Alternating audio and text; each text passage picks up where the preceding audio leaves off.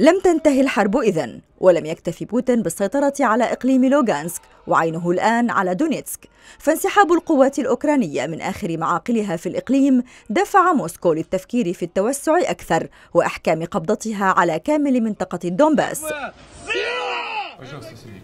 ساعات قليلة فقط مرت منذ أعلنت موسكو السيطرة على ليسينشانسك الاستراتيجية ليطلب بوتين الاجتماع مع وزير دفاعه سيرجي شويغو ويعطي أوامره بأن تنفذ القوات الروسية مهمتها وفقا للخطط التي تمت الموافقة عليها ويمنح اثنين من جنرالاته وهما ألكسندر لابين وأسد الله أباتشيف لقب بطل روسيا لدورهما في المعارك واقتراحاتهما للمرحلة المقبلة من العمليات الهجومية والتي بدأت بالفعل بقصف صاروخي ومدفعي كثيف على مدن وقرى مناطق خاركيف وإيزوم وبودوخيف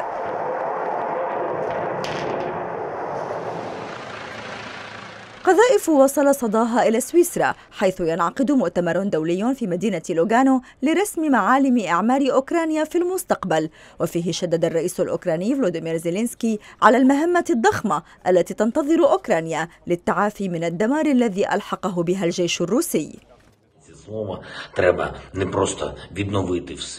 من الضروري إنشاء أساس جديد لحياتنا لأوكرانيا آمنة وحديثة ومريحة وخالية من العوائق وهذا يتطلب استثمارات ضخمة مليارات وتقنيات جديدة وأفضل الممارسات وبالطبع إصلاحات.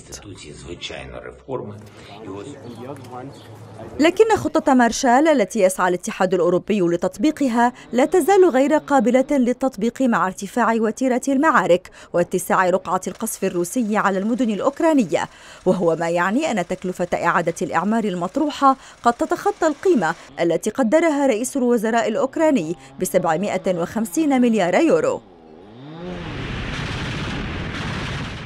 بين الواقع الميداني والتقدم الروسي البطيء وبين ما تنتظره كييف من حلفائها الغربيين. يرى مراقبون أن الحرب في أوكرانيا لن تنتهي في وقت قريب وأن ما خطط له بوتين من حرب طويلة الأمد لن يتغير في المفاوضات التي تعثرت مرة بعد أخرى.